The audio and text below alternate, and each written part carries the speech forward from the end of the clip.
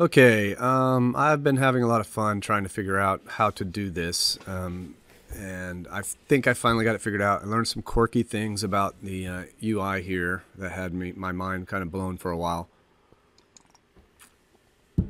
I think I've got some things figured out. So what we want, or what I wanted, was a form, okay, at the top of my dashboard which I'll be moving this to that. I, I just kind of created a, it's a, you know, sometimes when I have a problem, instead of working on the page with the problem, we just create a new page and try to, you know, boil it down to its simplest uh, principle. So we have a form here with one field, the weight, and I want to uh, update that weight. So I'm going to say change that to 220, hit return, and I want my changes to be saved uh, for this record.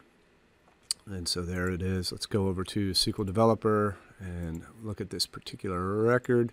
This should be the record. No, I'm sorry. It should be um, user ID or trunc sysdate minus one. Should be this one.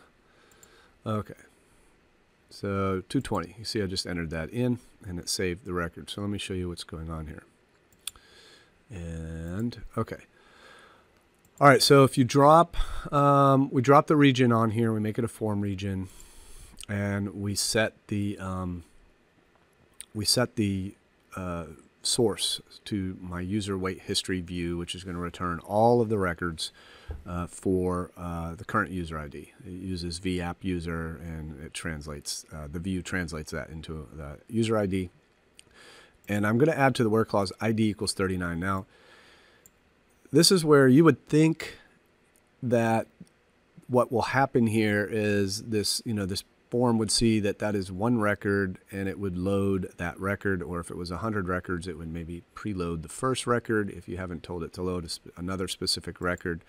But that's not what happens. What this does is this limits this really just limits what data can be modified as far as I can tell. So this is kind of like a security mechanism. So there should be no way to modify any uh, other records. In fact, I tried and it didn't work. So I think this works. And we're going to then select what page items are we submitting.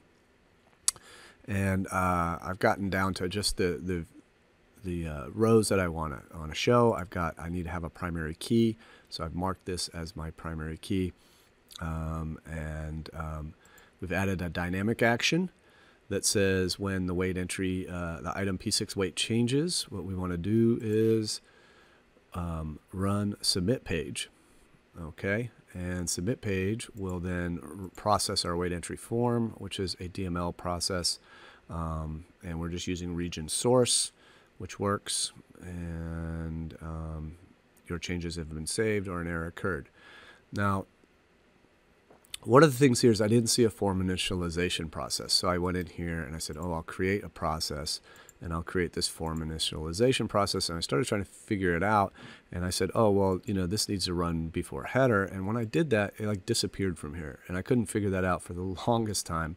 Uh, and what happens is it just moves to here, to this, uh, to before header pre-rendering. So processes, processing doesn't show all processes. I didn't know that.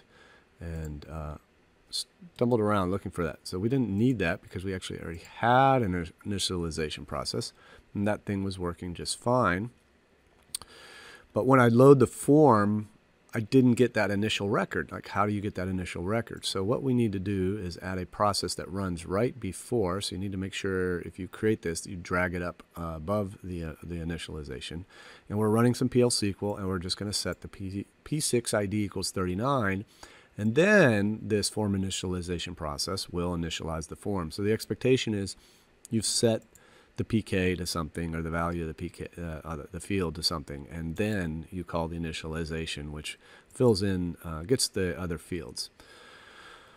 Um, so this will obviously, I need to update this so that it actually is a little bit more dynamic. I just hard coded it uh, for the sake of testing this, but you know we can call a function or write a PL SQL block with a select in it and uh, do that kind of stuff. So that's what we'll do next.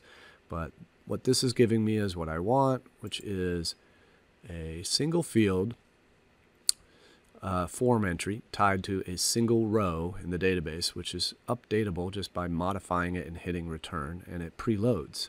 And so uh, that's working. and uh, that's it. Took me took me longer than I expected to figure this out. I do think there's some things that could uh, be done on the interface side to uh, maybe make this a little easier. Um, you know, either initialize the form or not. If you initialize it, initialize it with some kind of um, uh, you know, some place in here that, that makes a little bit more sense instead of having to execute code, maybe. I don't know. Um, okay, anyway, thanks for watching.